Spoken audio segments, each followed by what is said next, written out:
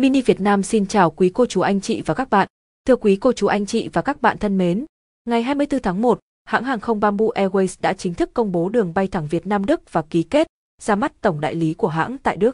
Theo kế hoạch, Bamboo Airways dự kiến khai thác đường bay thường lệ khứ hồi kết nối Hà Nội, Frankfurt ngay trong quý 1 năm 2022 với tần suất ban đầu một chuyến khứ hồi tuần. Tần suất chung sẽ được nâng dần theo nhu cầu thị trường. Đồng thời, hãng đang đẩy mạnh kế hoạch khai thác đường bay thẳng thường lệ kết nối thành phố Hồ Chí Minh Gian Phu ngay khi điều kiện cho phép, cũng như nghiên cứu các đường bay thẳng đến Munich, thủ đô Berlin, Đức. Nhân sự kiện này, Bamboo Airways cũng chính thức mở bán các chặng bay thẳng thường lệ Hà Nội, London Anh và thành phố Hồ Chí Minh, Melbourne Úc, dự kiến bay từ quý 1. Các đường bay sẽ được khai thác bằng máy bay Boeing 787 đến 9 Dreamliner, dòng máy bay thân rộng hiện đại với nhiều tiện ích vượt trội, mang lại trải nghiệm bay đường dài thoải mái nhất. Khởi đầu với đường bay kết nối Việt Nam với sân bay lớn nhất nước Đức Frankfurt, chúng tôi kỳ vọng nhanh chóng mở rộng mạng bay tới nhiều trung tâm kinh tế của nước Đức, mang lại cơ hội tiếp cận và trải nghiệm các dịch vụ định hướng năm sao chuẩn quốc tế, cùng lúc mang đậm dấu ấn bản sắc Việt Nam trên các chuyến bay của Bamboo Airways. Ông Đặng Tất Thắng, Phó Chủ tịch Thường trực, Tổng Giám đốc Bamboo Airways cho biết. Cũng tại buổi lễ, lãnh đạo Bamboo Airways cho biết, đây là đường bay cạnh tranh với trên dưới 10 hãng hàng không hùng mạnh nên hãng sẽ triển khai giá khuyến mại đặc biệt để chiên người tiêu dùng và khách hàng mong muốn tạo ra sự lôi cuốn, thu hút khách quay trở lại. Ngay trong ngày 24 tháng 1, Bamboo Airways sẽ mở đến bán vé bay thường lệ đến Đức và có những giá vé đặc biệt, không phụ thuộc vào yếu tố nào, khoảng 199 USD.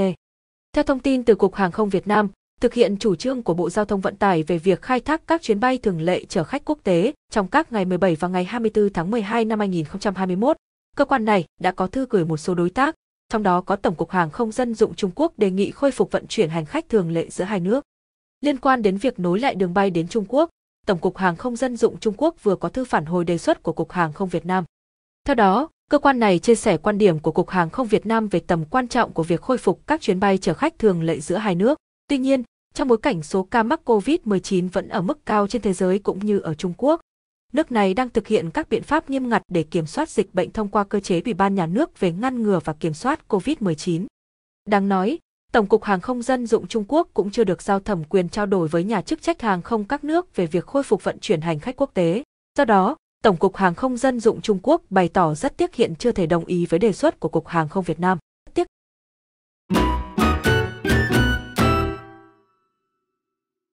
Những lưu ý mới nhất với hành khách khi nhập cảnh về Việt Nam.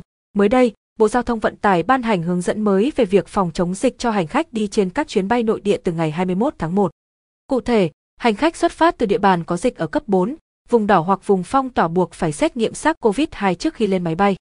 Với những địa bàn còn lại, hành khách sẽ không phải trình giấy đã tiêm đủ liều vaccine hay giấy chứng nhận khỏi bệnh COVID-19 như trước. Bộ Giao thông Vận tải cũng gỡ bỏ quy định trẻ em dưới 12 tuổi phải xét nghiệm nCoV khi đi máy bay.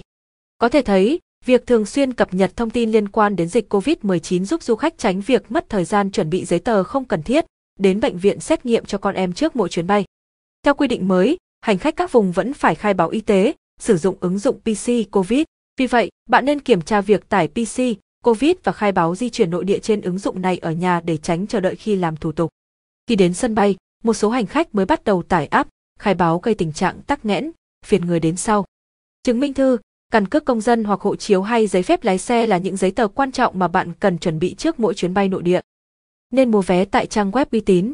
Ngày nay, việc mua vé thông qua các ứng dụng, trang web trở nên phổ biến do việc thanh toán nhanh chóng, giá cả phải chăng. Khi bấm tên các hãng hàng không, trang tìm kiếm hiển thị một loạt trang web có tên miền tương tự nhau gây khó khăn cho người sử dụng. Để tránh tiền mất tật mang, bạn nên mua tại website, đại lý, phòng vé chính thức của các hãng hàng không hoặc các nền tảng trung gian trực tuyến. Trên các hội nhóm chia sẻ kinh nghiệm du lịch, nhiều người đăng thông tin bán vé với mức giá rẻ, ưu đãi lớn. Nhiều trường hợp du khách bị lừa vì chuyển tiền trước nhưng chỉ nhận được mã đặt chỗ chưa thanh toán. Không mang quá số cân hành lý. Khi đặt vé, hành khách sẽ được cung cấp thông tin về số lượng hành lý sách tay mình có thể mang theo trên chuyến bay. Mỗi hạng vé và hãng bay có quy định về khối lượng hành lý sách tay khác nhau, thường là 7 đến 12 kg. Nếu vượt quá số cân quy định, bạn nên mua thêm hành lý ký gửi sớm, không để rơi vào thế bị động. Mức giá này cũng có thể tăng cao trong trường hợp khách đã check in. Ngoài ra, bạn cần nắm kỹ điều kiện đi kèm khi mua vé máy bay như quy định đổi, trả vé, đổi tên hành khách, cần check in trước tại nhà. Chủ động làm thủ tục check in trực tuyến là cách bạn hạn chế tiếp xúc với người lạ tại nơi công cộng và tiết kiệm thời gian chờ đợi ở sân bay. Theo quy định, Hành khách có thể check-in online trong vòng 24 giờ trước khi khởi hành. Một số hãng và hạng ghế cho phép bạn chọn chỗ ngồi miễn phí. Nếu không mang hành lý ký gửi, du khách có thể tìm kiếm hệ thống kiosk check-in tự động được bố trí ở sảnh một số sân bay lớn. Khâu này giúp bạn tiết kiệm thời gian xếp hàng chờ ở quầy. Tuy nhiên, bạn phải hoàn thành các thao tác trong 40 phút trước khi máy bay cất cánh. Quầy thủ tục sẽ đóng trước giờ khởi hành 40 phút. Bạn nên cân nhắc thời gian di chuyển sớm hơn khoảng 90 phút để an tâm, thoải mái, tránh trễ giờ vì kẹt xe hay các sự cố trên đường. Trường hợp vẫn đang xếp hàng khi quầy thủ tục sắp đóng, bạn nên liên hệ ngay với nhân viên mặt đất của hãng để nhờ sự hỗ trợ.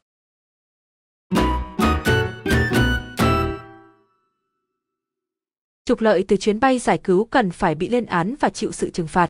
Tất cả hành vi trục lợi, tiêu cực và làm thay đổi mục đích nhân đạo của các chuyến bay phải bị lên án và chịu sự trừng phạt nghiêm khắc theo pháp luật. Báo chí trong nước tháng 12 năm 2021 tường thuật lại câu chuyện về một người Việt ở Hoa Kỳ lận đô la tìm đường về quê mẹ bằng cách qua Campuchia tuy khổ nhưng rẻ hơn. Tổng chi phí về nước hết khoảng 1.800 đến 1.900 USD, khoảng 44 triệu đồng. Trong khi đó, tiến sĩ Lương Hoài Nam kể, bạn tôi vừa về từ Mỹ với giá 170 triệu, trước đó lên đến 240 triệu đồng. Trong khi thời điểm tháng 3 đến tháng 4 năm 2020, chuyến bay Việt Nam Airlines giải cứu từ châu Âu về chỉ mất 1.200 USD, từ Mỹ, Canada là 1.600 USD và sau đó đưa về cách ly tại các cơ sở quân đội. Tuy nhiên, câu chuyện có lẽ không chỉ dừng ở chữ đắt. Cuối tháng 12 vừa rồi, một người bạn của tôi vừa hoàn thành chương trình thạc sĩ trở về nước gọi cho tôi không giấu nổi sự bức xúc, tức giận lẫn buồn tủi. Do đường bay thương mại quốc tế giữa Anh và Việt Nam chưa được mở lại nên cô bạn tôi phải tìm đến các chuyến bay charter do công ty du lịch thuê nguyên chuyến, mất 70 triệu đồng cho chuyến bay nhân đạo, vật vờ ở sân bay 6 giờ đồng hồ, hạ cánh ở Hà Nội nhưng phải vào cách ly tại Thanh Hóa. Mang tiếng là ở khách sạn năm sao nhưng bữa thì chỉ có cá chỉ vàng khô với cơm, bữa thì năm miếng chả bỏng dính, ăn xong thì cả đoàn bị ngộ độc thực phẩm xong không biết kêu ai. Bạn tôi bảo với tôi rằng, không phải không chịu được khổ, không phải chưa từng trải qua vất vả, nhưng cách mà doanh nghiệp đối xử với những người dân xa quê trở về là quá tệ, cả trên phương diện kinh tế cho đến phương diện nhân văn. Tôi không rõ sẽ còn có biết bao nhiêu người Việt xa quê trở về phải đi qua những trải nghiệm đáng quên như vậy để có thể đặt chân trước hiên nhà, đoàn tụ cùng người thân. Người bạn tôi vốn làm ở ngân hàng, thu nhập cao và chương trình học được tài trợ, do đó, vấn đề kinh tế không quá nặng nề.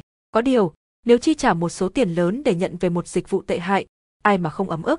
Hơn nữa, với những người dân lao động phải gom góp, cần đo đong đếm, co kéo đủ loại chi phí mới dám trở về, thì cách đối xử này càng không thể nào chấp nhận được. So sánh tranh lệch giữa giá bay giải cứu của Vietnam Airlines, tiến sĩ Lương Hoài Nam đánh giá số tiền để công dân Việt hồi hương đã tăng lên 3, 4, 5, 6 lần. Đó là giá gói combo về nước mà khách hàng trả cho đại lý. Câu hỏi được đặt ra, với sự tranh lệch lớn như vậy thì tiền sẽ chảy vào túi ai? Túi của các hãng hàng không hay túi của các cơ sở lưu trú? Các đại lý sẽ hưởng lợi bao nhiêu từ hành trình hồi hương của đồng bào ta? Chúng ta thừa hiểu câu chuyện ở đây là gì? Không thể vì lợi ích của một số đường dây chặt chém như vậy, ông Nam nói.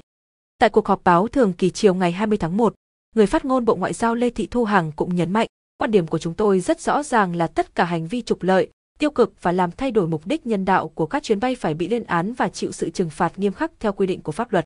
Cha ông xưa có câu nước đục thả câu. Điều này rất đúng ở vào bối cảnh hiện tại khi mà các đường bay quốc tế chưa nối lại, người dân phải phụ thuộc vào các chuyến bay charter của công ty du lịch. Nhưng sự trục lợi từ nỗi bĩ cực của đồng bào là hành vi phản nhân đạo, phản kinh doanh. Thời đại nào rồi mà còn tư duy ấu trĩ như vậy? Đây nhẽ ra là thời điểm để doanh nghiệp xây dựng thương hiệu, lấy lòng tin từ khách hàng thì nhiều doanh nghiệp lại làm ngược lại.